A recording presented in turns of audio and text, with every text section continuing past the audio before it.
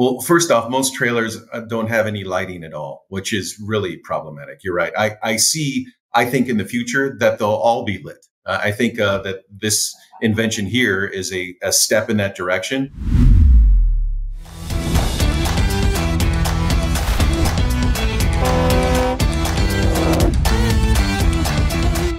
Welcome to the Heavy Duty Parts Report. In this episode, we are going to talk about lighting. It is now October. The days are getting shorter, the nights are getting longer. Lighting is a issue this time of year. Interior lighting in trailers is an ongoing challenge, especially when the trailer is disconnected from the tractor. And so I wanted to share with you a interview that we did with a client of ours, SSR Lighting Solutions. Now, this interview originally aired in 2023. So when you hear me talk about 2023, no, I haven't forgotten what year it is. Um, it's just that we recorded it last year, but it's just as relevant in 2024 and beyond. So for those of you who've not heard the interview, this will be the first time you're hearing it. For those of you that are regular listeners of the show, it's been over a year, so it'll be good for you to hear that again. I really like this interview because we talk about the problem, we go into detail about that, and he also goes into some real detail about the engineering that went into this innovative product. So I think it'll be good for all of us to listen to that again. Hope you enjoy the interview. I'm very happy to have my guest with me today. My guest is Daryl Grady. He's the director of engineering of SSR Lighting Solutions. Daryl is a shareholder and heads up the R&D development at SSR Lighting Solutions. His career began in automotive. We won't hold that against him because now he's really motivated on trying to help heavy duty. So we're very happy to have Daryl on the show. Daryl, welcome to the Heavy Duty Parts Report. Hey, thanks for having me. And welcome to being heavy duty. yeah, thank you. Thank you. All right. So uh, let's talk a little bit about lighting. You know, I remember many years ago, and unfortunately, this is like 20 plus years ago, when all of a sudden the LED light became a reality. And I remember, you know, talking to fleets about getting the LED tail lights so that the the light would show up faster and people would respond to it quicker and there'd be less rear end collisions. Like this is going back 20 plus years. LED's been around for quite a while in the industry. And yet we still have issues related to lighting. And uh, that's what we're here to talk about today. So, talk to me a little bit about where we are right now in 2023 as it uh, relates to lighting, semi trucks and trailers, and uh, the trucking industry? Inside of the trailer, is as far as LED lighting is concerned, we do see trailers that have LEDs uh, in the ceiling, but when you do see those, the LED mounts they have to be modified in such a way to to have them installed. So they have brackets on the outside of them that are made to to hold them in place and riveted in place. And then, of course, the entire delivery system of the voltage and amperage is something that isn't even tailored to the trailer at all. So you just have these lights that are installed and then the trunk cable that runs down the side is just, uh, everything is aftermarket. It isn't an actual complete device that is uh, made specifically for inside the semi trailer. Is that because there is a bit of an attitude towards trailers like they're just a box on wheels and so when fleets are specking them new they're not requesting this and then and then it becomes an afterthought where they think well maybe we need it so they have to add it uh, you know in the aftermarket is that how that happens or like why are we in this situation in 2023 I think it's because an, an actual entire kit was just never um, up until this point uh, addressed and invented. I'm running into people that it's been a constant need but when you do install it in a aftermarket scenario, you're collecting pieces. So it, it becomes an arduous task. Therein lies the biggest problem up to this point. Why would a fleet want to go to the extra cost of adding this lighting inside of a trailer? Like, I think we all understand the importance of headlights and taillights and marker lights and things like that. But but why would a fleet look at this and say, you know what, this is an investment that's worthwhile because it's actually going to create a positive impact for us? Walk me through that. So it's that's that's an interesting question because as we were doing this kit, inventing this kit, uh, the, we first got involved in it uh, from an automotive with our background, of course, uh, but uh, from a safety standpoint. Right. Um, Ford had a couple incidences of a worker being injured while inspecting a trailer. there was a, a large piece of wood and uh, projecting at such an angle that uh, it actually entered the person's leg. And um, that happened because they could not see. So, despite the fact that there's a dock light at the back of the trailer, uh, once a person or somebody enters the trailer, all it really does is illuminate your, the back of the person or or the, the forklift. So that happened, and then immediately or not long after that, somebody actually fell off the side of a trailer uh, because trailers, as you know uh, now, are all composite down the side. So the large rivets had been sheared and the forklift went in with a load of racks and to kind of straighten it up on the side as they do. They kind of use the side of the trailer to, to get things squared.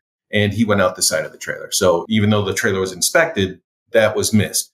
So that is how we originally got involved with the lighting system. So they, they made a request that um, the lighting system be invented uh, for safety and inspection reasons what we found is as we were doing it, um, other reasons came to bear. People with multi-stop shipments needed to read labels. We have a customer that services rock and roll shows. So they have our lights in the trailer because people are entering the trailer with their hands full and uh, they need to be seen inside the trailer without turning on on and off switches. And then also um, the the dropped aspect. The other thing we had to invent was illuminating the trailer when it's separated from the tractor. There are light systems out there that there are no light systems that do that, but there are light systems that allow you to plug them in. But of course, you can imagine the dangers of somebody going out with an extension cord around a, uh, a dock situation. The businesses wanted to do away with that liability. Yeah, that makes a lot of sense. And you know, safety is something that unfortunately there I mean, I don't think that everybody uh, thinks this way, but there's certain people who think this way. They're like, it's just extra cost. It's almost like, you know, they resist it because it's like it's almost like they're they're resisting it like paying an insurance bill or something. They just don't want to spend the money. But at the end of the day, if you've ever run a business where people can get injured, you know that once they get injured, any money you save disappears and a lot more goes out trying to offset that situation. So safety is an investment, but it's an investment that has a positive return on investment pretty quickly. Yeah, and and uh, we were also looking into that that cost of investment, and and so we wanted to make a device that could be resellable. So once it's installed in the trailer, that is a, a positive that the trailer has this lighting system in it. So that that charge could be implemented during resale.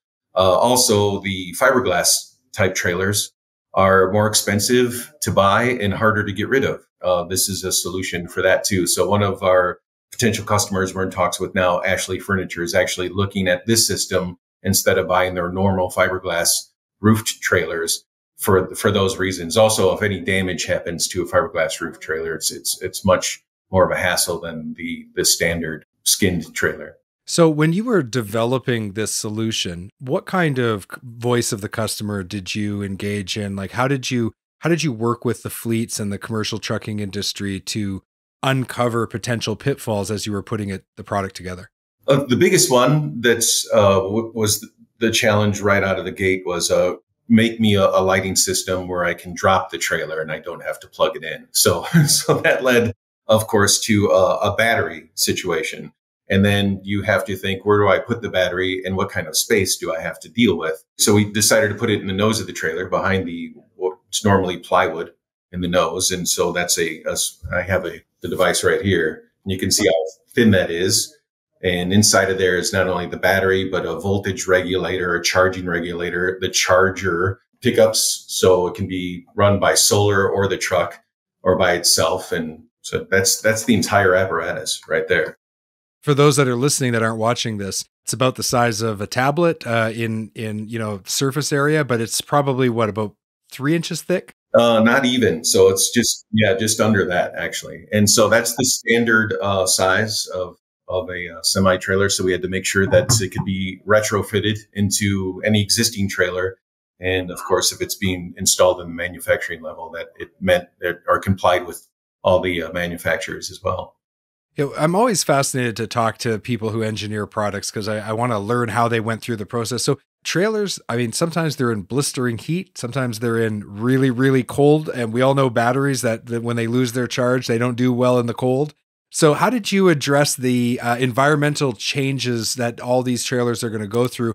And then also, trailers will sit for a long time sometimes without being used, and then they're all of a sudden they're they're sprung into service again. So how did you address those issues? And the battery itself too has to be a non-spillable. So it is a glass mat battery and it, it is specifically designed. Um, so we, we've had actual trailers with the kits on the road now for a little over four years to address those problems and to take readings. So there's there's tests we can do that in the automotive market where the tests are supposed to simulate you know two years of of whatever discharging and charging. Like to accelerate it so you don't have to wait two years right. Well those are great tests but nothing is is as good as actually being out on the road. So so we went through um quite a, a, a bit of um, adjustments in, to address what you're talking about but the the biggest one that we found was not allowing the battery to discharge uh, below 10 volts. And, and that's important. So uh, the battery has a regulator inside of it that once it gets to 10 volts, the whole system shuts off and it, it will not allow itself to turn back on until it's hooked to the tractor again. And then once it's hooked to the tractor again, it'll run off the tractor and also the battery charger will kick in and eventually it'll go to its full charge. Now, when it's fully charged, all the lights in the trailer can stay on continuously for over four hours. But to, to allow that to go even further, what we've done, and I guess some people can't see this, they can just hear, but each, this is a, a light, one of the lights, and there's, there's eight in a kit. Each light has a motion sensor. So the entire kit stays on. There is no on off switch. It's always on. So if you walk near this light, it turns on, but it only stays on for approximately about four minutes, maybe a little longer, and then it turns off. So if you're just working in a specific area of the trailer, only those lights will stay lit. If you remove yourself completely from the trailer for over four minutes, the entire kit will shut off. So even though we say the kit will stay lit constantly for a little over four hours, it's actually much longer than that because the kit is regulating itself to only be lit when somebody is actually in need of the light. That's fantastic. We're going to take a quick break. We'll be right back. Are you deferring maintenance because of filter cost or availability? Or worse yet, are you trading down to no name filters to try to save a few bucks? Either way, you're rolling the dice. The good news there's a new premium filter option for fleets Hengst Filtration. If you're responsible for a fleet, you won't believe how much using Hengst filters will save you. But you've got to go to heavydutypartsreport.com slash Hengst to find out more. That's heavydutypartsreport.com slash H-E-N-G-S-T. Head there now. At Diesel Laptops, they go way beyond diagnostic tools. They are your complete shop efficiency partner. From diesel technician training to complete repair information, parts lookup tools, and robust technical support, they are there to support you every step of the way. Learn more and download your free starter pack today by visiting diesellaptops.com. That's diesellaptops.com. HDA Truck Pride is the heart of the independent parts and service channel. They have 750 parts stores and 450 service centers conveniently located across the US and Canada. Visit heavydutypartsreport.com slash HDA Truck Pride today to find a location near you. Again, that's heavydutypartsreport.com slash HDA Truck Pride and let the heart of the independent service channel take care of your commercial equipment. We're back from our break. Before the break, Daryl, thanks for talking a little bit about the situation with trailers, interior lighting, safety. We think about uh, the the LED technology that's been around for a really long time, and this is just a problem that just hadn't been addressed yet. And you've done a really good job of describing some of the aspects of this product that you're developing. Maybe you could take a moment to describe to us, kind of in more detail, the way that trailers are currently lit and and why it's problematic. I know you mentioned it before, but I'd like a little more detail on that. Well, first off, most trailers uh, don't have any lighting at all, which is really problematic. You're right. I, I see. I think in the future that they'll all be lit. Uh, I think uh, that this invention here is a, a step in that direction and maybe down the line there'll be other kits offered. But I, I see in the future that they all will be. And in a dock situation right now, we're still after decades still using the lamp that's attached to the dock itself, the building that that swings around and shines into the trailer. And even though that can illuminate a trailer when you're standing on the dock looking into the trailer, you can see fine. The problem is, is the minute you step into the trailer or you take a forklift or product into the trailer, it's just illuminating your back. So it, you, it immediately just becomes a giant shadow. So the fact that we've been dealing with that technology for decades is, is kind of mind boggling. Although, as, as we mentioned before, even though the LED's been invented, there were some, the conditions inside of a trailer are so violent uh, from day to day that um, a way to harness the LED and keep it safe in that environment has been a while coming. And it's finally here. Yeah, let, us talk a little bit more about that. You know, in the testing for this product, no doubt you looked at all these different environments, but talk to me a little bit about the temperature at the roof of a trailer and how that was a, a real problem you had to overcome. Yes. Um, so you can imagine a trailer spends time, it could be in Lubbock, Texas, all the way to Minneapolis, Minnesota. So these trailers go through huge temperature swings and the materials on the, the roof of the trailer also you can imagine expanding and contracting constantly. And so when we were first uh, trying to put leds onto the roof of the trailer we had some catastrophic failures as uh, but those were all learning experiences for us. We wanted to pull data off of that. And uh, finally so what, what, we had to do is um, if, i know some people can't see this they're just listening but we had to lift the actual control board off of the ceiling uh, enough and put a, a, big enough heat sink between the ceiling and the light itself to keep that safe in all of those conditions. And uh, it took us a while to get to the right mix because, of course, the other challenge is, is the light can't stick down beyond the roof bows. Otherwise, they'd be damaged. So you have to keep it at a, uh, a certain thin aspect to it, and but also be able to achieve the heat sinking. And it took a while, but we got there. There's a, a couple other interesting things, if I can, too. Uh, each light has a voltage regulator in it. So the light at the front of the trailer is the same luminosity as the light in the back of the trailer. That is another thing that you run into when you're trying to make a amperage and voltage travel a 53 foot trailer. The light closest to the power source is brighter than the light that's in the back of the trailer. Of course, we had to adjust that by voltage regulating each light. So when you go into one of our trailers, it is a consistent light all the way throughout. Right. And and and it's you know, you just think to yourself, oh, just put some lights in a trailer, like should be easy. Right. And, and right. yet you find out, no, wait a minute, there's a lot of there's a lot of math and a lot of science that needs to go into this. Yeah, yeah. And uh, and to to um endure the violence that happens in, inside of a you know, you can imagine what it's like is it's going down the road at uh, 70 miles an hour, you know, hitting bouncing around, going into docks, all the temperature changes uh, the moisture changes. That's uh, another thing we had to address is make sure everything was watertight. I, I think one of the, the crowning achievements though is making sure no matter who installed it, it would be installed correctly. That was, uh, that was a thing that we had to labor on intensively is to make sure no matter who installed it, it would be in such a way that it would not allow you to do it incorrectly. so yeah. that was a good one. Yeah, that's fantastic. I love learning about this, and and as we said, there's a lot of science that goes into it, a lot of math, but um, there's also some unique challenges when you're making products for heavy duty. So, for example, with a Class Eight trailer, you've got forklifts running in and out of them all day long. What kind of hurdles did you have to overcome when you were developing the product and you were thinking about, okay, how do we make this work with forklifts zipping in and out of the trailer daily? Well, there, there's three things that come to mind right away as, as you were saying that. Uh, first off, uh, the box itself, making sure that it was placed in the nose of the trailer in such a way where a forklift punching through the front of the trailer would not destroy the box. So the, the box is the size it is and easily placed high up on the wall behind that plywood. So even if a forklift were to pierce its forks through the nose of the trailer, it's fine. Second was if inevitably there's going to be forklift that goes through the roof of the trailer. You can't stop that. So we made the trunk in cable uh, or in sections, the trunk cable in sections. So when that happens, you don't have to replace the whole light kit. You can just replace a portion of it if the trunk cable gets damaged. Also, will all the lights still work after a forklift takes out one or two of them? Yes. So we made sure we addressed that.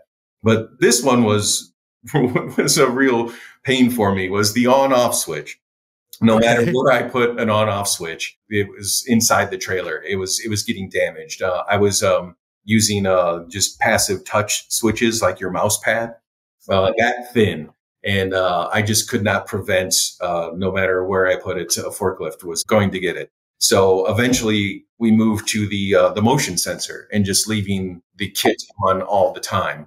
And, and little beknownst to us, because we were just thinking in automotive terms, that ended up being a big sell. For example, the truck and roll people that uh, do the, the, the rock concerts, because those guys are going in and out of the trailers with their arms full all the time. They don't, they can't reach over and and turn on a, a, a lighting system. They want to just walk in and have it turn on. So, but those three come to mind right away for forklift problems. right. And I can imagine mounting it would have been interesting. Like if you just use bolts or something, wouldn't that just like shear them off as uh, every time? Yeah, if you step inside a, a well-used trailer, there's nothing but marks all the way up and down the, the entire side. And even automotive trailers have a, a plank of thick steel right when you first go in the trailer because it's just uh, from hitting the dock plate, they're constantly hitting the roof of the trailer. So yeah, the automotive uh, racks, actually most industry racks are made to cube out. They want to get the most out of a trailer that they can. So their racking systems are going to go from floor to ceiling, which doesn't allow a forklift driver a lot of room for error. You know, that's, it's just the way it is. So now that you have the product in the market, this is something that you mentioned could be retrofitted to existing trailers. What is the the the process that they have to go through to do the retrofit? Roughly how long does it take? Can an average technician do it? Is there any special instructions they need to think about? So anyone can visit our website and on the website is the actual installation manual. So anyone can visit that. And um, that's an interesting question. It, the way it's presented on our website, I would say two people would take about two hours. However, that is, uh, we've presented the cleanest, neatest installation. So, uh, always thinking in the automotive realm with, uh, you know, the big automotive racks and the, and the forklift drivers going in and out of there. In that installation, you see no wires whatsoever. So, so the, the wires from, from the lights and, uh, the trunk cable going down the trailer we've uh, we give you instructions how to actually install that. So when you look up at the tri- at the finished product, all you see are lights. Now, uh, different people have different needs. So if uh, you just wanted to tape the wire up there and just have the lights, of course, you could probably do the entire thing by yourself in 30 minutes. We we went to the craziest scenario and then you can just work your way backward from there. Right, but a couple hours to retrofit the whole trailer. I think that's a pretty reasonable time frame and now, what about serviceable parts and and replacement parts? So over time things wear out, right? LEDs, the diodes burn out, batteries need to be replaced, they just don't hold a charge anymore. So what is the availability on service parts? And, and you brought up a, a, good point there too. So um, this is the lights, and and uh, the lights has just a, a simple plug-in here that can only go one way. That's important too. So if somebody's doing an installation, there's no wrong way to do it. It only allows you to plug it in one way. If one light were to get damaged or need to be replaced, the rest of the lights still work. It's been addressed in such a way that, so let's say some damage happens to a section, you just uh, order one light from us and we'll send it to you and you can, you can replace that. We've also taken the main trunk cable and put that into three sections. So let's say something catastrophic happens just in the area of the trailer. You don't have to buy a whole kit. Uh, the battery, four screws and the lid opens, two terminals, it's it's that easy, and everything is uh, warranted for two years. But like you said, eventually, I would expect the battery to be the first thing that uh, starts to go on a ramp down as far as um, is holding its charge, and and that can easily re- be replaced. Yeah, well, it sounds like you've put a lot of thought and effort into making this as easy as possible. And it's so important because, you know, people's uh, safety, their their bodily. You know, you don't, you don't want to have people having bodily harm come to them just because they're there doing their job.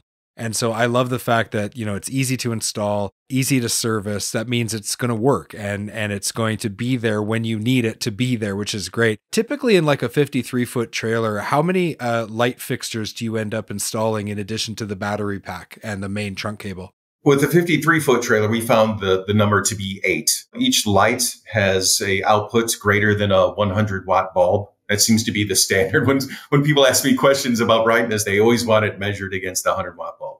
So it, they're brighter than a 100 watt bulb. So imagine eight of those inside of a 53 foot van trailer. You have no problem reading. It's, it's much like an office. It, that's what it reminds me of. Like you're just sitting in your office when, when that happens. We also chose eight because the entire package draws just over one amp at that point, and thus you get the long hours out of the battery when it's when it's dropped from the tractor. That makes a lot of sense. Yeah. So Daryl, who is your ideal customer so far? Have you been working with a lot of little independent fleets? You work with the big mega carriers. Like, who do you find be, are the ones that have been adopting this uh, this product quickly? Actually, surprisingly, both. So, uh, our ideal customer, uh, we we really don't have one. Uh, we've actually well, you got to own a Class Eight trailer. yeah, right. So, we've actually talked to Amazon, for example, and uh, we're in talks uh, with them right now. Uh, so, I mean, ideally for for a first customer, that would be fantastic. But we've also got lights installed in a couple fleets where they only have four trailers. In, in fact, one of those customers I'm very grateful we had early on because they operate out of Flint, Michigan on a multi-stop basis. So they actually, uh, they were a great test bed for us because if it could survive in that environment, you know, that was a, a great R&D thing for us. So he was, he was a big help, not only a customer, but uh, we really relished the ability to be involved in that fleet. So, Daryl, let's talk a little bit about the future. What's the big dream for this product? Um, I think this product or, or products like it, I think that uh, eventually all semi trailers, all of them, uh, right out of the manufacturer, are going to be lit. It's it's not even going to be an option because I think the the need for it, uh, especially as we touched uh, on the safety and the liability aspect of things from the humanistic standpoint, I, I think it needs to happen. We've already achieved a way to make it easy to be part of the manufacturing process. There isn't hard, there's hardly any modification that would need to be done at all. If you wanted to hide the wires completely, the roof bows would need a, a simple hole added because the, the roof bows that go across the trailer are already hollow. 90% of it is already made for this to happen. So I, I, I suspect in the not too distant future that uh, this kit or or a kit like it is is going to be everywhere. One of the best ways to get the manufacturers to do anything is to have some fleet start specking it, and they're like, "Where do I get this from?" And they tell you. so so hopefully some fleets are listening right now. We know that they are. We know some big fleets listen, and and they've actually adopted some of the recommendations of guests of this show. I have confirmation on that, and we know the OEMs are listening as well. So hopefully this uh, helps those uh, people all come together. Yeah, well, you know, I, I just want to say thank you on behalf of the heavy duty industry, right? We we need new players to come in and and look at things from different perspectives, leverage different uh, technologies and bring great new products to the industry. So, you know, from all of us, thank you very much for your efforts on this. It sounds like this is going to be a very successful product for you. I think so as well. I think there's a real need for it in the marketplace and and thank you for having us. Thank you. You've been listening to the Heavy Duty Parts Report. I'm your host, Jamie Irvin, and we've been speaking with Daryl Grady. He's the Director of Engineering at SSR Lighting Solutions. And if you'd like to learn more about this specific product for heavy duty, go to ssrlightingsolutions.com. Well, I hope you enjoyed the interview with Daryl Grady from SSR Lighting Solutions. As I mentioned, they are a client of the Heavy Duty Consulting Corporation. We're very happy to be working with them. There's going to be opportunities for you if you are a distributor to sell this product in the North American market. So make sure that you reach out to them as soon as possible. It's time for That's Not Heavy Duty. In this edition of That's Not Heavy Duty, I wanted you to consider the pros and cons of custom lighting on big rigs. Now, uh, in the show notes, we're going to share the link to this entire video. It's about eight to nine minutes long. It's from ET Transport, where they go into their opinions. At least one of their drivers goes into their opinion about uh, the pros and cons of of customizing your lighting on a big rig.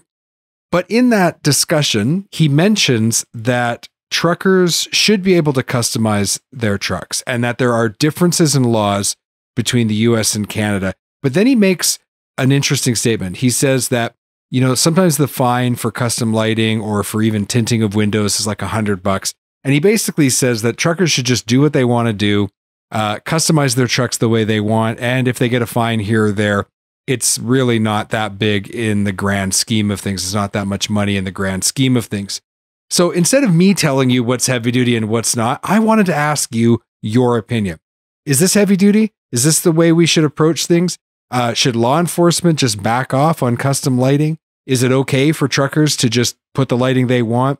And pay the fines and just move on? What do you think? I'm really looking forward to hearing your comments. Now, you can reach out to us in several ways. One, on social media, especially on LinkedIn. That's where we spend a lot of our time. Uh, two, you can put the comment in the YouTube video for this episode. Or three, you can go to the show notes on your podcast player and click the text button and text us. We'd love to hear your thoughts on whether or not this is heavy duty. If you're listening to this episode on the day that it dropped, which is October 14th, 2024, I am in Florida this week at the MEMA Tech Conference. Now, this is a big honor for me. Uh, first of all, I'm getting the opportunity to moderate several uh, of the panel discussions. So I'm going to be moderating three sessions. One is a mentoring session for startup finalists because they've got a startup competition. Uh, two, I'm going to be moderating a panel on AI, how it's a reality in the aftermarket. And I'm going to be moderating a panel on heavy duty e commerce data standards. In addition to that, I'm also going to be a judge for the MEMA Aftermarket Startup Challenge, and I'm mentoring one of the six finalists. If you are interested in this, uh, stay tuned to our socials on LinkedIn. I'm going to be posting some videos and some content uh, from my attendance of the show. And uh, if you want to participate in next year's Startup Challenge, make sure you head over to MEMA and check out the Tech Startup Challenge. It is going to be awesome. Thank you for listening and watching our program. We really appreciate your ongoing support. If you haven't already, head over to heavydutypartsreport.com, hit the follow button, and sign up to our weekly email. You get one email a week, no spam, just one email a week tells you all of our new content.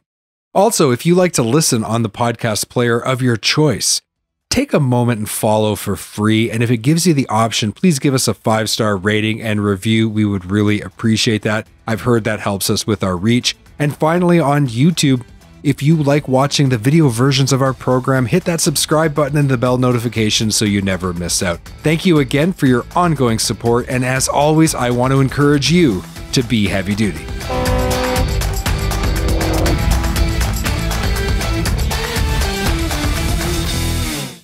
Thank you for watching this video. Click here to subscribe to the Heavy Duty Parts Report YouTube channel and click here to watch another great episode.